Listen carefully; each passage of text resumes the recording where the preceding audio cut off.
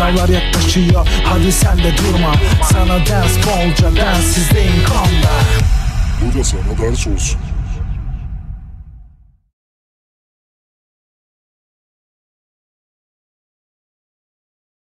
Merhaba gençler. Bugün sizlerle manyetizma konusu öğretici test 2 çözümleri ile beraberiz. İlk sorumuzda G ve Y cisimleri ve C mıknatısı ile kurulan şekildeki sistem dengededir. Buna göre yukarıdaki yargılardan hangisi bakın dikkat edin gençler kesinlikle doğrudur diye sorulmuş bakın hangisi kesinlikle doğrudur. Şimdi öncelikle biz dikkatimizi C mıknatısına vereceğiz gençler. Buradaki C mıknatısı bakın dengede. Peki buradaki G mıknatısı ne yapmış? C'ye doğru hareket etmiş. Y mıknatısı ise C'den uzaklaşmış. Bakın G mıknatısı ne yapıyor? Bakın C mıknatısına doğru hareket ediyor. Buradaki Y mıknatısı ise C mıknatısından uzaklaşıyor.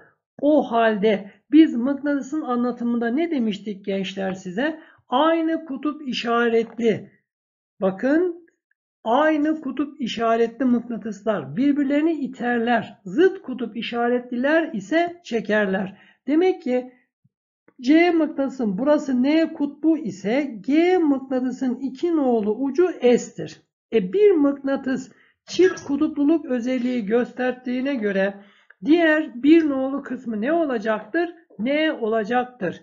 Şimdi buraya baktığımız zaman burada C var bakın. Bu C mıknatısı Y'yi ittiğine göre burası S ise 3 nolu yer mıknatısın S kutbu olacaktır. 4 numaralı yeri ise mıknatısın N kutbu olacaktır.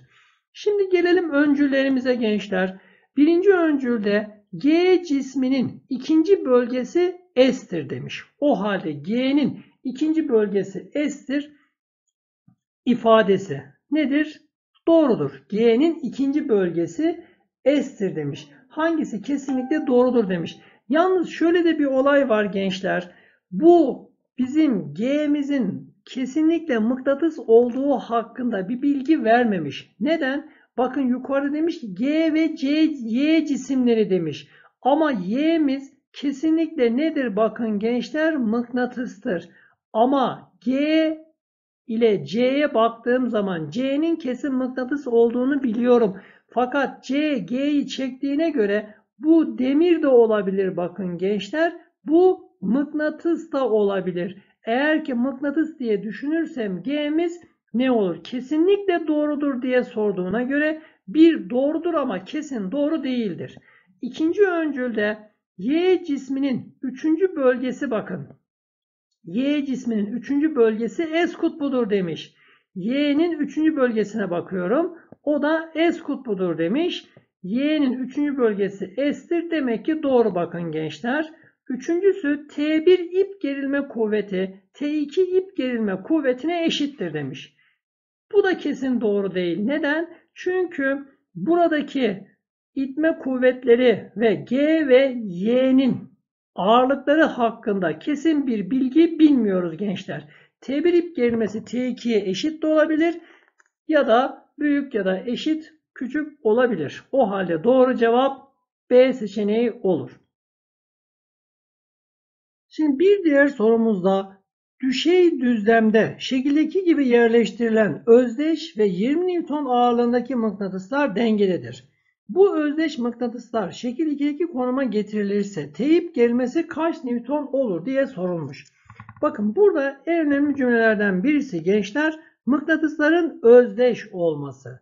Yani biz buradaki bir nolu mıknatısın kütlesine G dersek iki nolu mıknatısın da kütlesi G'dir.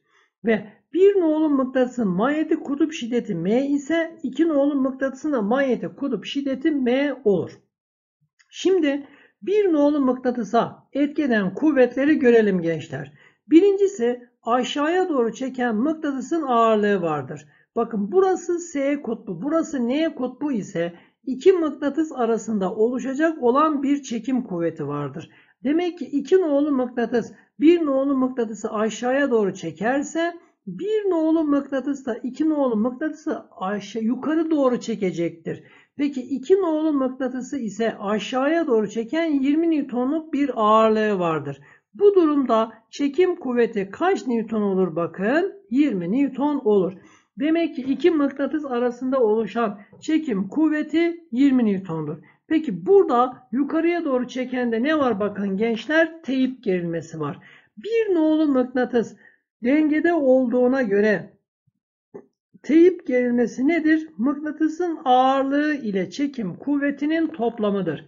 Peki biz çekim kuvvetinin ne bulmuştuk? 20 Newton bulmuştuk. Peki mıknatısın ağırlığını da kaç Newton vermiş bakın gençler? 20 Newton vermiş. E bu durumda T ip gerilmesi kaç Newton olur? 40 Newton olur. Şimdi şekil 1'deki sistem şekil 2'deki hale getiriliyormuş bakın. Yine burası bizim birinci mıknatısımız. Burası ikinci mıknatısımız bakın.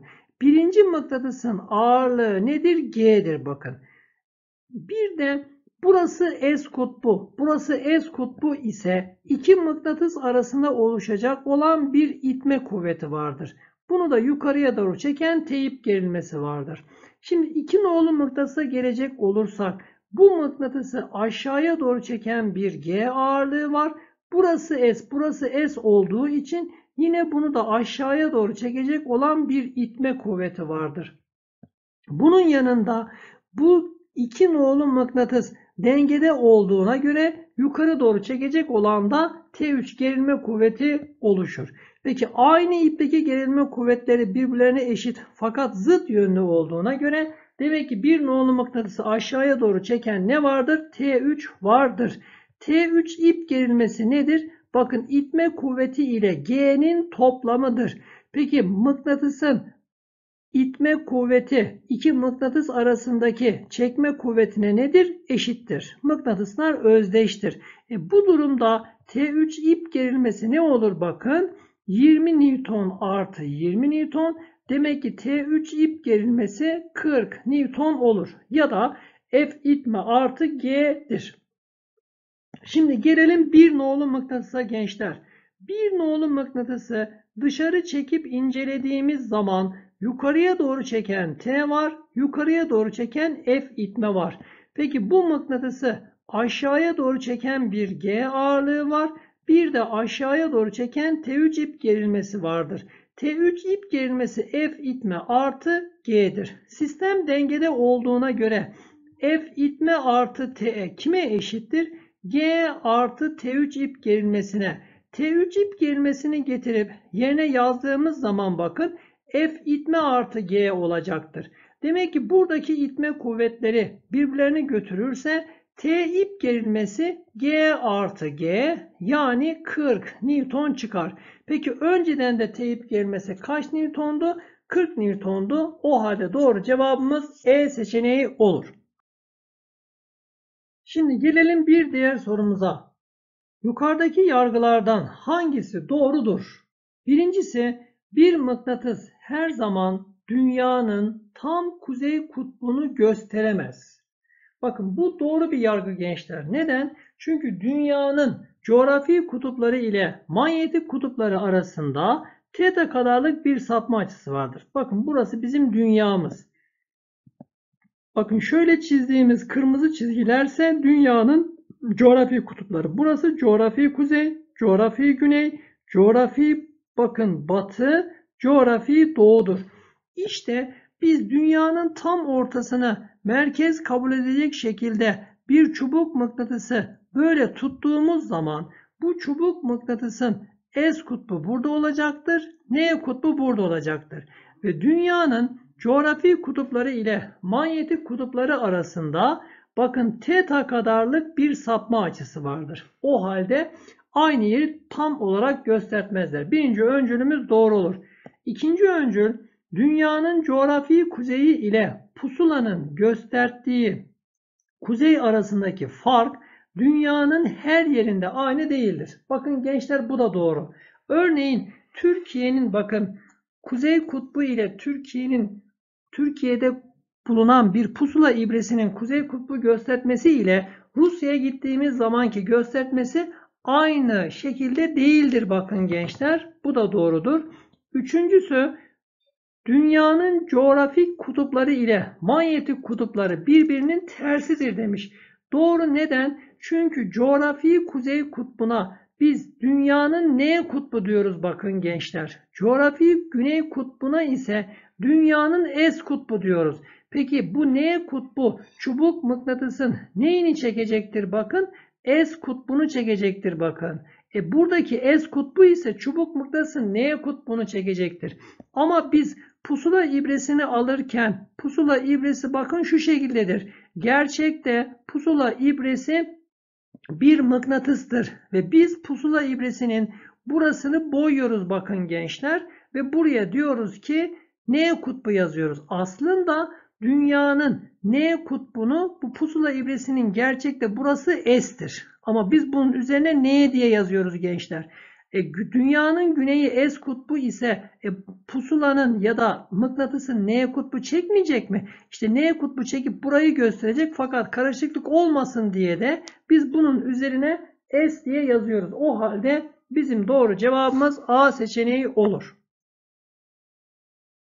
Şimdi gelelim gençler son sorumuza. Bakın burada sürtünmesiz eğik düzlemde P ağırlıklı özdeş mıknatıslar şekildeki gibi dengededir.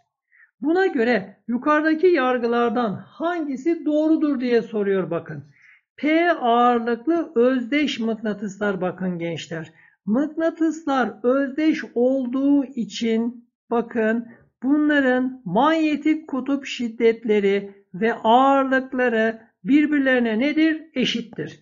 Demek ki bu mıknatısın ağırlığına P dersek bakın P demiş. Diğer mıknatısının da ağırlığı nedir? P olacaktır. Peki eğik düzlem üzerinde bir P cismi varsa bunu aşağıya doğru çeken kuvvet P çarpı sinüs 30'dur. Sinüs 30 1 bölü 2 olduğuna göre bu da P bölü 2'dir. Peki buna biz birinci mıknatıs, buna biz ikinci mıknatıs diyecek olursak bir nolu mıknatıs, iki nolu mıknatısa bir çekim kuvveti uygulamış ki iki nolu mıknatıs dengede kalmış. Demek ki bu tarafa doğru çeken ne vardır? Bir çekim kuvveti vardır bakın. İki mıknatıs arasında oluşan bir çekim kuvveti vardır. Bu çekim kuvvetinin büyüklüğü kime eşittir gençler? P bölü 2'ye eşit olur. Şimdi gelelim şuradaki eğik düzlemimizi alalım bakın. Eğik düzlem böyle. Ve eğik düzlemin yatayla yapmış olduğu açı ise 30 derece bakın. Burada bizim bir nolu mıknatısımız var. Bakın iki mıknatıs birbirini çekeceği için bakın şurada teyip gerilmesi var. Demek ki 3 nolu mıknatıs ile pardon 1 nolu mıknatıs ile 2 nolu mıknatıs arasında bir çekim kuvveti oluşacak. Demek ki burası çekim kuvveti bir de mıknatıslar özdeş ve ağırlığı P olduğu için aşağıya doğru çeken P bölü 2 olacaktır. Peki sürtünme olmadığına göre buradaki T ip gerilmesi nedir? Bakın P bölü 2 artı F çekim kuvvetidir. Peki biz çekim kuvvetinin de P bölü 2 olduğunu bulmuştuk. P bölü 2 artı P bölü 2'den demek ki teyip gerilmesi kime eşit olur? P'ye eşit olur. Bu durumda iki nolu mıknatıs dengede olduğuna göre bu iki nolu mıknatıs ile bir nolu mıknatıs birbirlerini çekecekler. E o zaman 2 ile 3 ne olacaktır gençler burada? Zıt kutup işaretine sahip olacaklardır. Demek ki birinci öncülümüz nedir? Doğrudur. İkinci öncülde mıknatısların birbirine uyguladıkları kuvvetlerin büyüklükleri nedir? P bölü 2'dir. Bakın bu da doğrudur. Üçüncü öncülde ise ipteki T gerilme kuvveti P'ye eşittir. Evet gençler bakın burada bulmuştuk. İpteki T gerilme kuvveti P bölü 2 artı P bölü 2'den P'ye eşit olur. O halde bizim doğru cevabımız A seçeneği olur. Evet gençler burada yine biz mıknatıslardan bahsettik. Dünyanın manyetik kutuplarından bahsettik. Dünyanın coğrafi kutuplarından bahsettik. Coğrafi kutuplar ile manyetik kutupların tam üst üste örtüşmediğinden ve aralarında bir tete kadarlık sapma açısı olduğundan bahsetmiş olduk. Yine mıknatısın demir, nikel, kobalt gibi maddeleri çekmesinden bahsetmiş olduk. Bir diğer sorumuzda ise bir mıknatısı bakın asmışız. Aşağısına başka özdeş bir mıknatısı asmışız ve en üstteki ip gerilmesi mıknatıslar birbirlerini çekseler de itseler de en üstteki ip gerilmesi iki mıknatısın ağırlıklarının toplamı kadar olduğundan bahsetmiş olduk. Herkese çalışmalarında başarılar diliyorum. Ders izleyin, bizimle kalın ve kanalımıza abone olmayı unutmayın.